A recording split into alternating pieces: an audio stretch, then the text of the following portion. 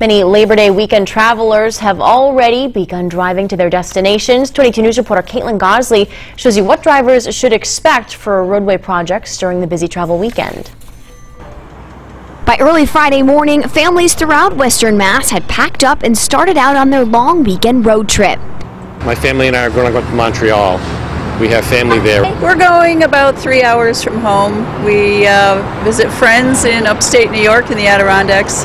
One thing those travelers will not be dealing with are construction delays. The Mass DOT says all state-run roadwork projects here in western Massachusetts will be put on hold for the entire Labor Day weekend.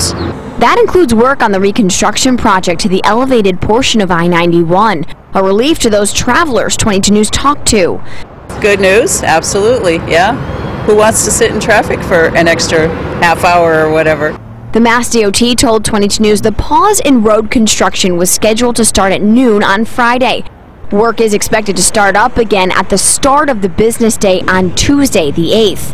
And if you're traveling south, Connecticut's Governor Dannel Malloy announced all roadwork projects there will also be on hold in hopes to ease traffic congestion.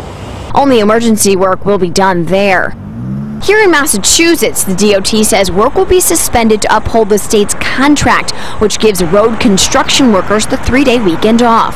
Drivers should, however, be ready to still deal with existing road conditions where construction projects have been ongoing.